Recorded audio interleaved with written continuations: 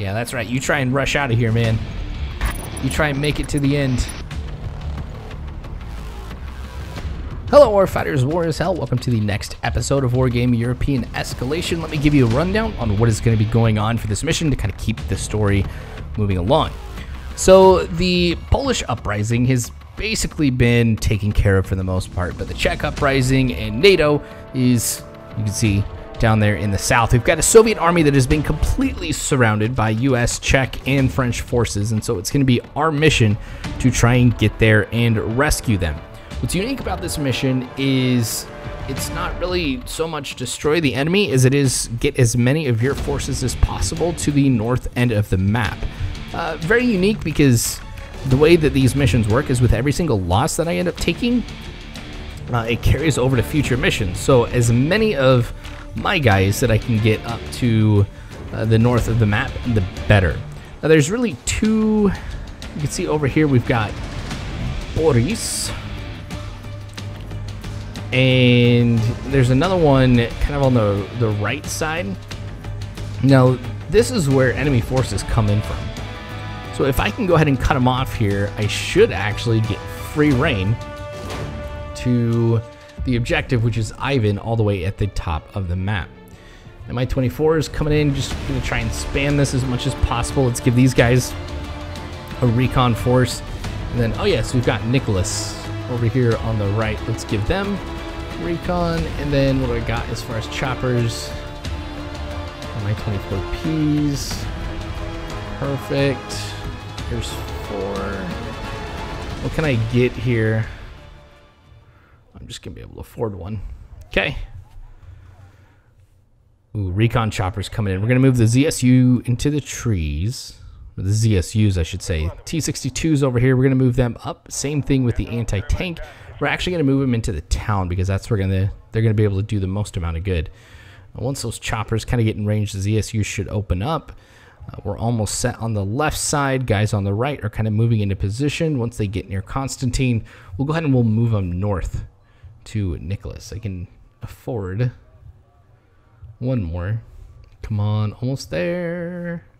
There's different points on the map too that I can get to increase my command units uh, or command points, which will be helpful because uh, that will be what allows me to, to just get more units on the map to move them north.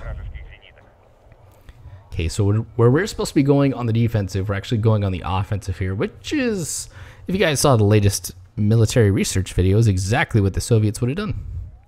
Would have tried to go on the offense here as much as possible, even if defensive strategy was what was needed for a situation.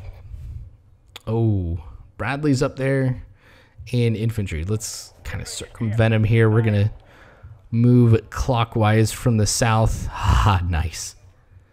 There he is, just out there in the open. Using up a lot of rockets for this guy. There we go. Okay.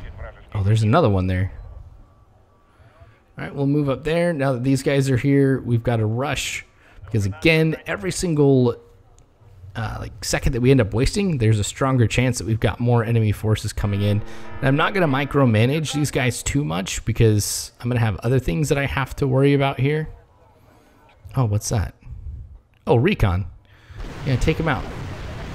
And up there, we've got the, the command vehicle. Oh, beautiful. Got him with a, a, a missile there. Okay, perfect. Okay. These guys are trying to take out my ZSUs, but honestly, uh, it's going to take them a while considering they're going to be constantly repaired since they're within the zone of the forward operating base. Now, since we've cut off any way for these guys to get any reinforcements, it's just about cleaning house now. Oh, I love that. Mi-24's doing their job. Oh, BTR coming in. Um, shoot, shoot, shoot. Come on, a couple T-55s. Get this Mi-2 out of here. Why was... Ah, dang it. I lost him. Seriously, why was he... For me, that's just frustrating that he wasn't up in the air. My command vehicle's taking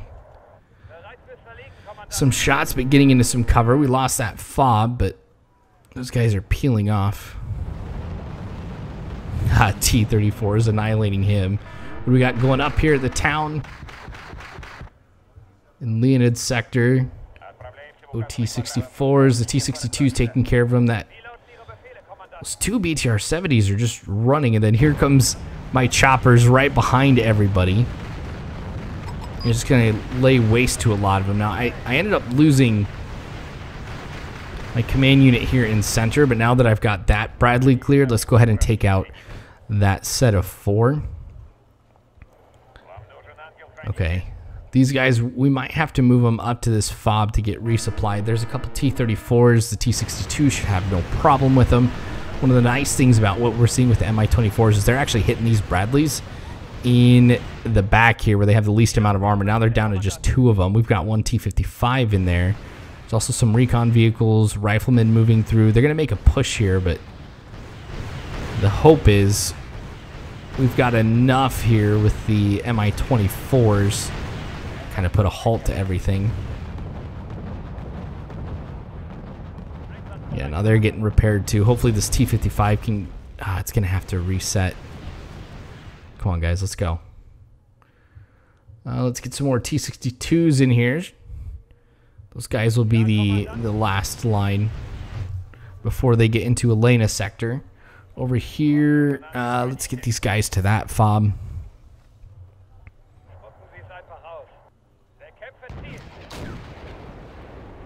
Oh, come on, T-55s. Now, they do have to stop to get their most accurate aim. They don't have uh, the best shots while on the move. Okay, these guys, we might be able to get them to this forward operating base to start reloading. Yeah, the scimitar's going down. There we go. Well, that's not bad. We stopped this attack too. We've got some guys that are over here.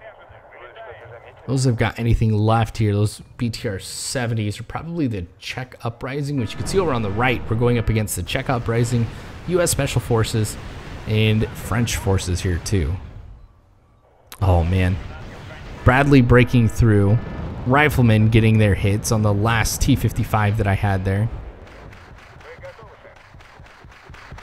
This T-55's out in the open. Come on, T-62s. There we go. They got their hits. Okay, BTR has been heavily hit. These riflemen out in the open, not in any kind of cover, are just going to get mowed down by, yeah, by 24s. And T-55s can take some hits too.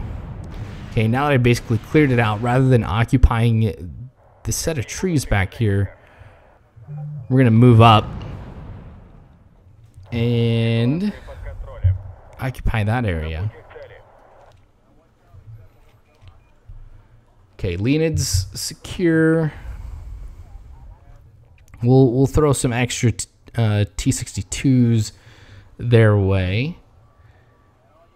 And then we'll also get some some infantry in here too, just to kind of help out inside and around the town. So we'll kind of pop them there. Again, remember, our objective is to get as many of our guys as possible to Ivan up at the north. Now that we've got most of this cleared out, we're going to have to just go through the area and see what's left. Again, we're still going to set up some defenses around here. What I'm going to do is, now that things are quieter, I feel a lot more comfortable about sending some command UAZs to uh, the areas on the map where I can get some additional command points. Let's go ahead and send this, uh, we'll send a couple of them up there, or four of them actually. They might be able to give them a ride oh, on up to Ivan. Once I can get Fedor to the north, now that I've got center, come on, get in a good position. Yeah, I think I've got everything now except Fedor up there. I'm going to start placing some recon choppers around here too, because again, there's possibly some enemy in the area. And we'll we'll just scatter these guys around just to see if they can spot anything. I would have had more if it wasn't for like two episodes ago, or actually last episode where I lost like, gosh, what was it, guys? Like six of those recon choppers. I don't think it was necessarily that much, but lost far more than than I would care to have lost. Those fobs especially the one over there on the left, is just about out of supplies. Oh, here we go. Czechs have got some forces coming in. So the guys up in the city are taking some shots kind of at long range, and the T-62s are basically taking care of stuff here at the short range. There they go getting the hit. I'll have to get some Urals up there. Gosh, more. Once they go into those woods like right now, we're, we're not going to to see him here until the very last second, which is great. We've got this infantry in here because the infantry will be able to set up a pretty decent defense. There goes the SPW 60s kind of going to take care of the survivors up north. Uh, move this recon chopper maybe a little bit closer. The change in elevation between the town and the set of trees off to the right is what's going to make it difficult for me to spot them. I'd have to go ahead and move my MI2 up the hill, but I feel like I'd get really, really close to where that infantry is and I wouldn't be able to escape. Okay, well, hey, let's start getting a T-62 up there. Let's set two of them. We'll get as many of these guys as possible too. Just kind of move in a convoy. If there is anybody along the way, they will be able to take them out. Come on, T-62s. Okay, we got to the survivors. There we go. We're going to load them in here, and then we'll just move on to Ivan. Piece of cake. Gosh, it sucks. He can't, they can't hit him. Um, I could try and move these T-62s right here, the four of them. Oh, I forgot to pop them out here. Let's kind of move them out there in the open. It'll be 30 on 30, but then we can go ahead and move around some of our... Ah, dang it. I lost another one.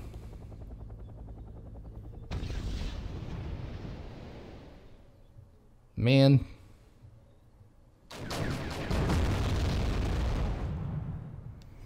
Okay.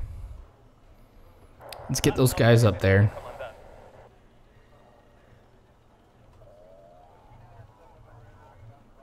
Alright. Get some more infantry in here. These guys are cheap, easy, and will definitely be be needed for the next mission. So our convoy of T-62s have basically gotten to the objective without taking any fire, so that's why I feel a lot more comfortable about just sending anything and everything up that way. This is basically going to be the name of the game here for the next little bit. So for me at least, we've got a lot that I'm going to be doing here. Now, again, you know, we saw that infantry just a little bit ago. And that infantry was going to cause us some problems. Just kind of getting up close. Question is, what else could be around here? That's something we're going to have to, again, wait and see. The way that I am prioritizing everything that I'm kind of setting up there is I'm starting off with infantry and armor first. I'm kind of getting more defensive stuff out of the way and also things that might be a little bit slower. So that's why I'm not sending the helicopters necessarily uh, quite up there yet. Come on, T-62s open up. There we go. That's what I was waiting for earlier. Sucks I had to lose an MI2 to, to get that. But again, I'm, I'm prioritizing defensive stuff, and, and the air units I can just chuck up there whenever I want, basically. You can see just how quickly I'm getting command points now. It's it's pretty nice. We're gonna throw another UAZ up there. It'll be helpful to have some some ground units for the next mission, and at the same time they'll they'll see anything that might be coming this way. Once everybody does get up to the north here in Ivan, they are no longer usable. You can see they change color to that orange one, which kind of represents their friendly, but uh, not not my groups. And see, here they go, just going down the road in a massive convoy. So again, like we were hearing at the beginning, it's all about trying to push through to the Soviet uh, forces that are surrounded, and we are definitely doing that. And there's no opposition really here to us, and we've got an undisturbed just convoy of, of stuff moving up. I guess another thing I should mention is I am going for cheap stuff first rather than the more expensive things. Because if I ever get caught in a bind, sometimes quantity matters more than quality. Again, if I'm going with Soviet strategy too, that's definitely important. Let's move these Urals down to the fob to get resupply, and then we can move them back up there if we absolutely need it. So at the very, very end here, I mean, we're talking like two minutes left to go or something. Anybody who's on the map is just automatically getting rushed up there. So we'll we'll see what I end up leaving behind. I know this is probably not the most action-packed episode, and I was tempted whether or not to even post this because it just absolutely dominated. But um, what I'm going to do here is just skip things forward, which you're seeing right now. We are at the uh, almost 34 minute mark. We've got a lot of forces kind of up there at the top. Getting pretty close here. Since I do have a time limit, you can see I've got six minutes left to go here before the mission ends. So I'm trying to be very selective in what I choose, kind of move up there.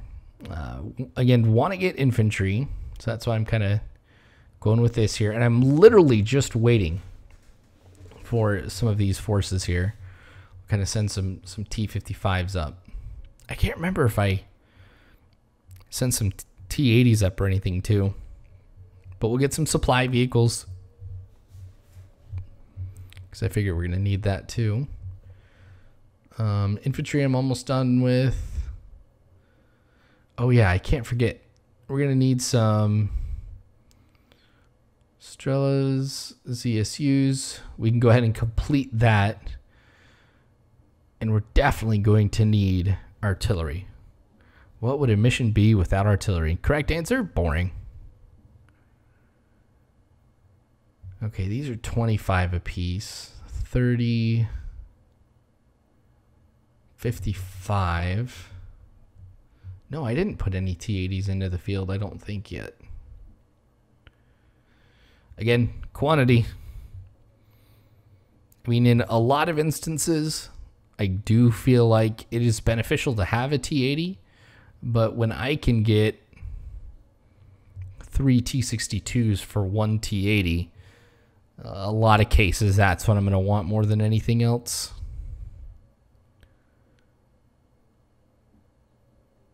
All right, selecting all these guys. Get the BTR.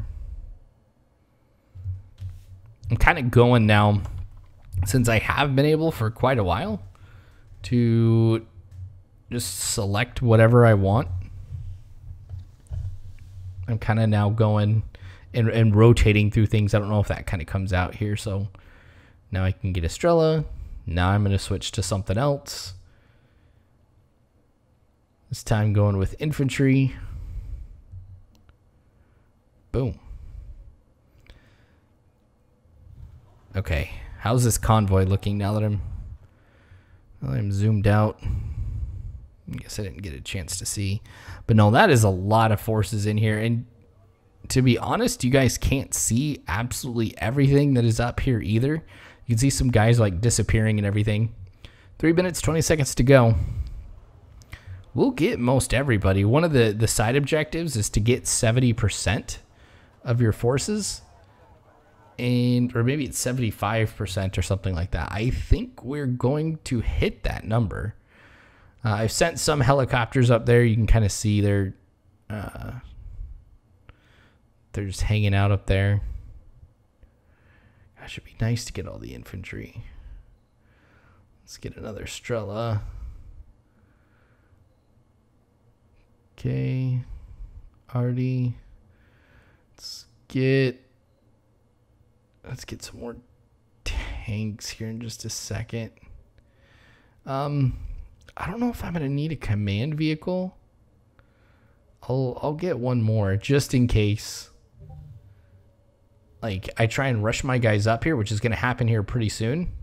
If I don't get anybody, I want to make sure I've got something here at least. Okay. This might be it. Okay. Support. One. Support. Finish off the Artie. Finish up a Strela. Okay, let's get everybody.